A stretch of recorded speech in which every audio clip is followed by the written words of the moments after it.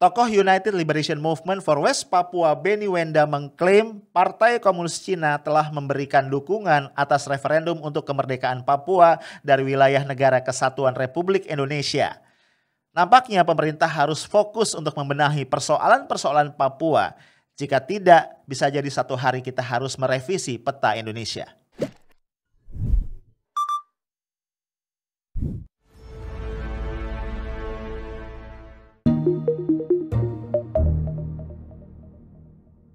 Halo guys, ketemu lagi kita dan kita nongkrong di afternoon tea walaupun lu tentu nggak boleh minum teh ya. Buat lo yang muslim, yang puasa ini belum selesai nih ya, anggap aja ngabuburit, bentar lagi kita buka bareng. Oke? Okay? Nah kita berada di hari ke-10 Ramadan, artinya masih ada 20 hari lagi atau at least 19 hari lagi ya.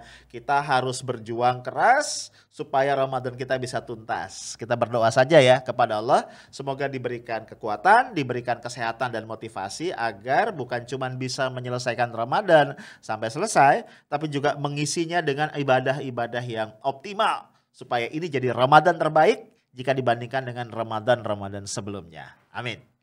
Nah bro gue pengen ngajak lu untuk jalan-jalan ke bagian paling timur ya di wilayah negara kesatuan Republik Indonesia yang kita cintai yaitu Provinsi Papua dan juga Papua Barat. Kalau uh, lu flashback ya mungkin lu masih ingat uh, sekitar bulan September tahun 2019. Ini menjelang pelantikan Presiden Jokowi dan KJ Ma'ruf Amin sebagai Presiden dan Wapres di periode kedua ya kepemimpinan Pak Jokowi. Itu di beberapa kota Papua terjadi unjuk rasa besar-besaran ya di Jayapura, di Manokwari, di Nabire, di Fakfak ya dan di banyak kota-kota yang lain deh ya termasuk juga uh, di Paniai ya, gue lupa kota-kotanya banyak banget. Nah, unjuk rasa ini guys sebagai respon, sebagai reaksi terhadap uh, apa yang diklaim atau disebut sebagai tindakan rasisme yang dialami oleh sejumlah mahasiswa asal Papua yang ada di Surabaya dan Malang beberapa waktu sebelumnya. Nah, kita sangat sayangkan kalau dari berita-berita yang kita baca saat itu unjuk rasa tadi kemudian berubah menjadi kerusuhan dahsyat ya yang meluluh lantakkan kota-kota tadi, sejumlah toko, bangunan pemukiman, bahkan gedung DPRD setempat juga tidak uh, luput dari uh, ke, apa namanya dampak-dampak kerusuhan itu. Nah, Bro, kalau kita lihat ya, kita flashback lebih jauh lagi, memang hubungan antara pemerintah pusat dengan Papua sejak awal ya dari zaman orde lama, orde baru sampai sekarang ini kayak apa ya panas dingin ya. Ya kadang-kadang adem tapi lebih banyak demamnya. Nah kalau kita lihat sumbernya banyak banget ya. Tapi gua rasa salah satu akar dari persoalan itu adalah perasaan ketidakadilan yang sampai hari ini masih kerap dirasakan oleh saudara-saudara kita di Papua. Ya, lu tahu kan ya bahwa Papua ini adalah salah satu tanah yang ya wilayah yang sangat kaya akan sumber daya alam. Ya, lu bayangin aja ya kalau kita bicara tambang emas terbesar di dunia yang dikelola oleh Freeport itu adanya di Papua. Ya, belum lagi uh, berbagai apa bentuk sumber daya mineral yang lain. Tanah Papua kaya banget kalau udah bicara itu no debat lah gitu ya. Tapi ya kita jadi miris kalau melihat ya tingkat kesejahteraan saudara-saudara kita di Papua ini eh, apa jauh tertinggal sampai hari ini. Kalau kita bandingkan dengan wilayah-wilayah lain di Indonesia apalagi kalau kita bandingkan dengan Jawa gitu ya wah jauh banget. Ini tentu menjadi paradoks ya. Kan kalau kita ibaratkan peribahasa ini jadi mirip-mirip apa sih eh, ayam mati di lumbung padi. Kira-kira begitu. Sehingga banyak pihak yang kemudian menyesalkan bahwa pemerintah sejak dahulu lebih banyak ya melakukan pendekatan-pendekatan keamanan dengan mengerahkan kekuatan TNI dan Polri ketimbang pendekatan kemanusiaan dan pendekatan kesejahteraan yang lebih komprehensif ya untuk menyelesaikan persoalan-persoalan di Papua. Nah guys di 2019 ya waktu kerusuhan tadi merebak, gue inget banget ya banyak pengamat Salah satunya adalah Ujang Komarudin, ini pengamat politik dari Universitas Al-Azhar Indonesia mengatakan bahwa masalah Papua ini merupakan pertaruhan besar Pak Jokowi di periode kedua kepemimpinannya. Ya, sehingga gue jadi agak apa, agak worried gitu ya. Karena sampai hari ini gue tidak melihat ada upaya-upaya yang serius dari pemerintah pusat untuk e, menangani persoalan Papua secara lebih mendasar dan komprehensif.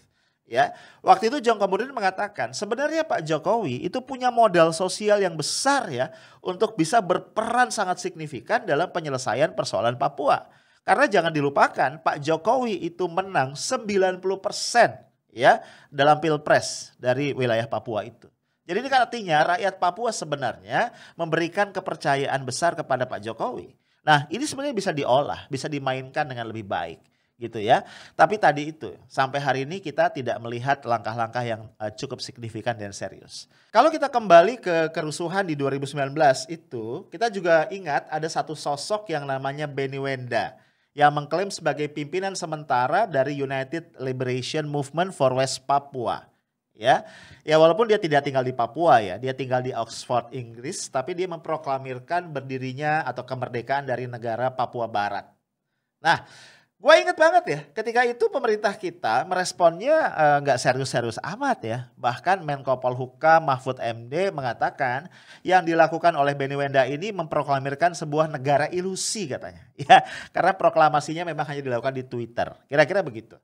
Tapi kalau kita cek belakangan ini, menurut gue kita nggak bisa seapa, seabai itu dalam melihat kondisi ini. Karena belakangan beredar kabar bahwa Partai Komunis Cina berarti juga pemerintah China ya, gua nggak tahu secara official apa enggak, ini mendukung kemerdekaan Papua. Ya, ini diklaim oleh Benny Wenda. Nah, kalau klaim ini benar menurut gua kita harus waspada. Ya, Benny Wenda mengatakan bahwa mereka uh, menerima kehadiran China dengan tangan terbuka karena selama ini keselamatan rakyat mereka di bawah pemerintahan Indonesia tidak bisa dijamin ya dia kembali refer lah ke pembunuhan, ke apa ketidakadilan dan segala macam kasus yang dia klaim sebagai tingkah dari atau uh, tindakan dari pemerintah Indonesia kepada rakyat Papua. Lah, Bro, menariknya ada seorang pengamat lain yaitu Muslim Arbi yang mengomentari dia mengatakan ini harus direspon serius nih oleh pemerintah dan karena ini merupakan tantangan yang sangat khusus ya. Sangat bisa jadi kemudian pemerintah China akan melakukan tekanan-tekanan kepada Presiden Jokowi untuk memberikan referendum uh, kepada Papua. Ya, tentu saja sebagai imbalannya bisa jadi ya pemerintah China akan menawarkan investasi ya. Karena memang Indonesia ini kan saat ini sangat tergantung kepada China dalam banyak hal. Nah, di sisi yang lain ya, wajar dan masuk akal ya. Kalau bagi China, Papua ini posisinya penting. Karena kita tahu saat ini sedang ada konflik uh, di Laut Cina Selatan dan Papua ini posisinya sangat-sangat strategis ya. Ya bisa gue bayangin ya gue imajinasikan kalau jadi satu pangkalan ya kemudian di situlah China apa mengkonsolidasikan pasukannya dan logistiknya itu akan sangat dahsyat. Ya belum lagi kita tahu bahwa Papua itu sangat kaya tadi dengan sumber daya alam ya berbagai mineral itu dikandung di bawah buminya Papua. Nah bagi China tentu akan sangat menggiurkan ya. Mereka bisa investasi di sana, bikin pabrik ya, bisa apa mengerahkan tenaga kerja dan lain-lain. Jadi buat China akan sangat-sangat menguntungkan kalau saja provinsi dua provinsi paling timur di Indonesia ini kemudian lepas dari negara kesatuan Republik Indonesia. Nah, dengan kondisi itu, artinya menurut gua pemerintah Indonesia, Presiden Joko Widodo itu harus benar-benar ya mempertimbangkan konstelasi geopolitik ini dengan uh, sebaik-baiknya. Karena pada sisi yang lain, ya uh, Amerika Serikat sudah sangat tidak nyaman dengan kecenderungan Indonesia yang sangat miring ke Beijing ya beberapa peristiwa telah terjadi belakangan misalnya ya kalau kita kaitkan dengan uh, vaksin. Ya walaupun kemudian dibantah oleh banyak pihak. Ya lu ingat ya bahwa uh, ada isu jamaah umroh dan haji Indonesia tahun ini tidak bisa berangkat ke Saudi karena vaksin yang kita gunakan dari China yaitu vaksin Sinovac tidak mendapatkan atau belum mendapatkan setidaknya sertifikasi dari WHO ya sehingga Saudi menolak Ya mungkin sebagian orang melihat ini peristiwa yang lepas ya dari konstelasi global. Tapi kalau gue ngelihatnya nggak gitu. Satu ya, bagaimanapun WHO tidak mungkin bergerak tanpa blessing dari Amerika. Itu satu. Kemudian yang kedua, kita juga jangan lupa bahwa Saudi ini adalah negara yang berada di blok Amerika gitu ya. Dia adalah proksi Amerika di Timur Tengah. Dengan demikian ya, sangat masuk akal kalau tadi ya eh, penolakan Saudi terhadap jamaah umroh kita misalnya adalah bagian dari bentuk message yang dikirimkan oleh Amerika kepada kita yang dianggap sudah terlalu dekat kepada China. Lah bro, dalam kondisi seperti ini ya, menurut gua Pak Jokowi, Presiden Jokowi dan pemerintah kita harus fokus ya sehingga kemudian tidak lagi apa sibuk dengan hal-hal yang nggak penting ya contoh ya misalnya radikal radikul dan pencitraan yang uh, berlebihan Ya, ada bahaya kalau kita tidak hati-hati bahwa wilayah paling timur yang sangat kita cintai bagian integral dari NKRI bisa lepas. Ketika kekuatan-kekuatan asing bermain, ketika kita tidak hati-hati, jangan sampai satu hari nanti kita terpaksa merevisi peta Indonesia. Itu aja dari gue, stay smart and professional. Assalamualaikum warahmatullahi wabarakatuh.